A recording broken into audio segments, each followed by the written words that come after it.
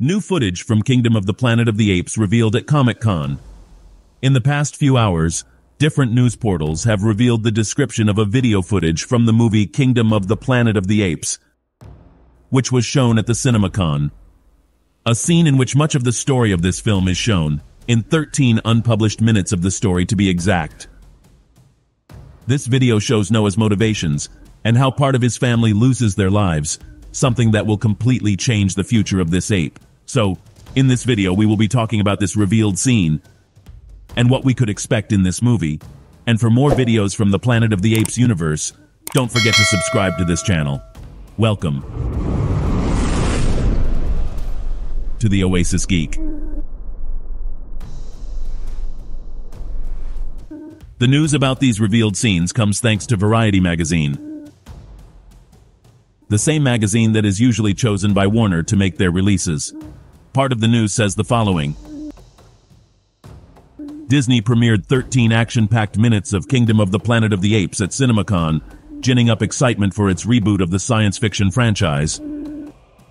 Set generations after the events of 2017's War for the Planet of the Apes. The movie follows a young chimp named Noa, biblical allusions clearly intended, as he embarks on an epic journey after his village is torched by a band of gorillas, or so we think as we're no primatologists here. It also finds Noa, played by It, and to Leslie's star Owen Teague, scaling the rocky face of a cliff on the prowl for eagle eggs.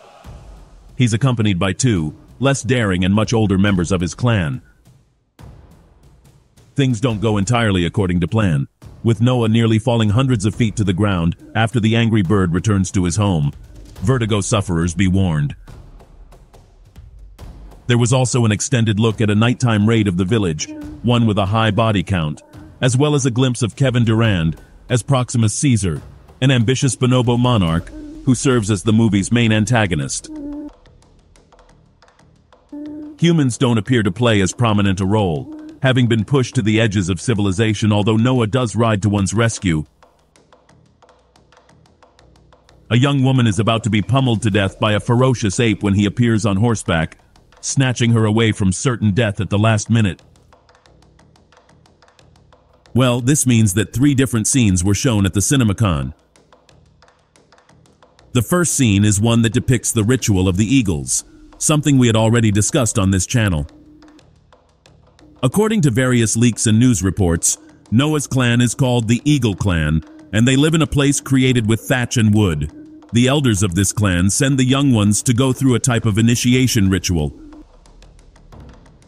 where they must find eggs or baby eagles to then help them. It is believed that all apes, when they reach a certain age, must tame an eagle, which is why they are called the Eagle Clan. Interestingly, this is part of what was shown at the CinemaCon, but it is also mentioned that this Eagle Clan is attacked by Proximus Caesar's group. This is something we had already mentioned in other videos, and it is the reason why Noa starts to fight against Proximus Caesar, However, The Hollywood Reporter released a publication about this same news, in which we can find much more information about what happened with the Eagle Clan. The Hollywood Reporter's article reads as follows.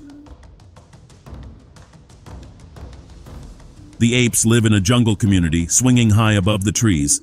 A group of three apes is seen stealing eggs from a bird's nest. They debate whether to take all three eggs, but agree to leave one behind. They soon discover another nest, but it's in a precarious area. The bird returns home and attacks, knocking one of the apes off a cliff. He falls but catches a nearby ledge. Later, a new scene shows the ape's jungle village up in flames. A gorilla mounts an attack and fights a chimpanzee with a taser. The chimp is burned and weakened, but survives. Rubble collapses around him. He finds the body of another ape and cries. He buries it with rocks. Father, I will find them. I will bring them home, the ape says. He rides away on a horse and follows footprints into a tunnel and through the jungle. Will Proximus Caesar end the life of Noa's father? On Joblo's website, we can find the description of this scene that reads as follows. We then see a scene in which gorillas attack the village, killing some and enslaving others. Noa survives but finds that his father has been killed and his mother taken. He buries his father and promises to rescue his mother and the other villagers. During his journey, he finds a friend and mentor in Raka, played by Peter Macon, an orangutan, and saves the life of a human, played by Freya Allan from Gorillaz. All in all, it looks pretty jaw-dropping and a worthy continuation of the modern trilogy. With this revelation, we already have confirmation of Noa's motivations. He is trying to rescue his mother and avenge his father. Now we understand why, although he is alone, he decides to confront the clan of Proximus Caesar. It's something very personal for him. However, there is something interesting in what was mentioned. Why on earth did Proximus Caesar kidnap Noa's mother? What interest does Proximus have with her? One of the things we have not yet theorized on this channel is the reason why Proximus Caesar will attack the Eagle clan.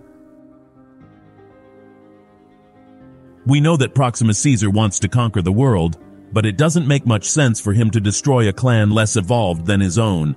The logical thing would be for him to use them as slaves or to acquire their resources. The fact that Proximus Caesar destroys the Eagle clan and abducts Noa's mother could indicate something else. In this channel, we have discussed the possibility that Noa is a descendant of Caesar, and it is possible that Proximus Caesar knows this. Perhaps Proximus knows that in the Eagle clan, there is descendancy from the original Caesar, and one way to legitimize a lineage would be to unite families. Perhaps the reason Proximus Caesar kidnapped Noa's mother is because Noa's mother is a direct descendant of Caesar, and Proximus wants to have her around to give legitimacy to his reign.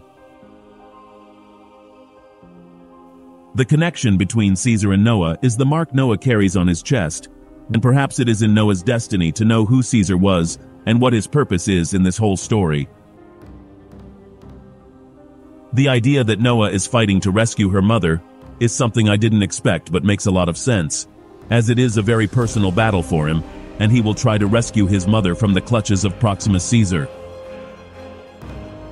In our next video, we will be discussing some interviews that were conducted with the actors, which reveal much more information about this movie.